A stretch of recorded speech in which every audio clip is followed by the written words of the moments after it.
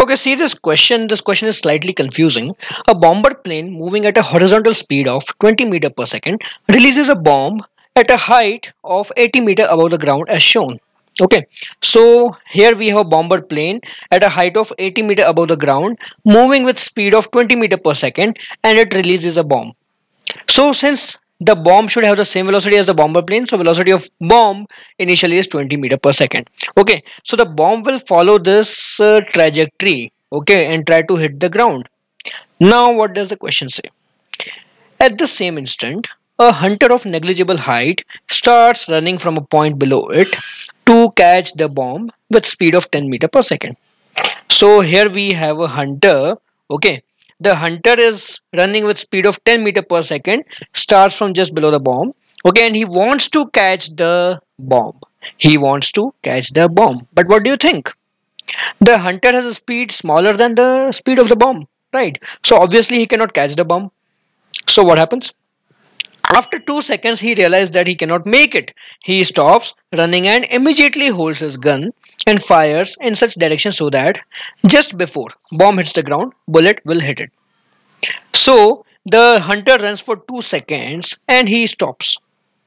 In 2 seconds, the distance covered by the hunter will be 20 meter because velocity is 10 meter per second multiplied by 2 seconds gives you 20 meter. So the hunter stops after 2 seconds and fires a bullet. He fires the bullet such that the bullet hits the bomb just before hitting the ground. Okay, bloody James Bond.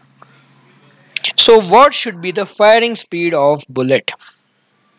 Okay, so what should be the speed of the bullet so that the uh, the like he can successfully stop the bomb from detonating right?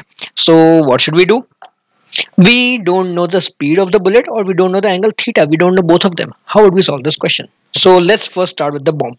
Okay along y direction the bomb is covering a height of 80 meter initially the bomb has velocity 20 meter per second along x-axis. There is no velocity of the bomb along y-axis. So we can calculate the time taken by the bomb. Time taken by the bomb will be how much? Time taken by the bomb will be uh, root 2 y by g. Okay so root 2 times y is how much? 80 meters and g is 10 okay so this will be equal to 4 seconds. So the bomb takes 4 seconds to reach the ground. In that time in that time what is the range of the bomb? Velocity of the bomb is 20 meter per second along horizontal. Time taken is 4 seconds. So 20 times 4 seconds that is 80 meters. The bomb can cover 80 meters along horizontal. So now since the bullet is fired 20 meter after the uh, hunter starts running so the range of the bullet will be how much? Range of the bullet will be 60 meters. Simple. Okay? Range of the bullet will be 60 meters. And total time taken by the bomb is 4 seconds. The hunter himself runs for 2 seconds. So the bullet has only 2 seconds to reach this point. The bullet has only 2 seconds. So we'll write down over here. Time for the bullet will be 2 seconds. Okay. So the bullet covers this path in 2 seconds. That means now now what we can do, we can find the velocity of bullet easily. So let's say the bullet has velocity along x-axis and y-axis. ux, uy. So I can easily calculate ux. ux will be distance covered 60 divided by time taken 2 seconds. So ux for the bullet will be 60 meter by 2 seconds. That is 30 meter per second. Okay. So we found the x component of the bullet's velocity. Now we need to find y. So what is the time of flight for projectile motion? Time of flight is 2uy by g. So time for bullet will be 2 times uy divided by g. So uy will be g times t bullet divided by 2.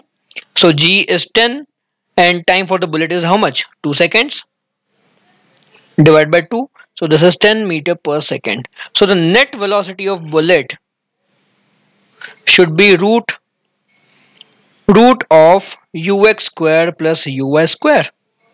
ux is 30 so root 30 square is 900 plus uy square is 100 so this is 10 root 10 meter per second. This is the speed with which the bullet should be fired by the hunter.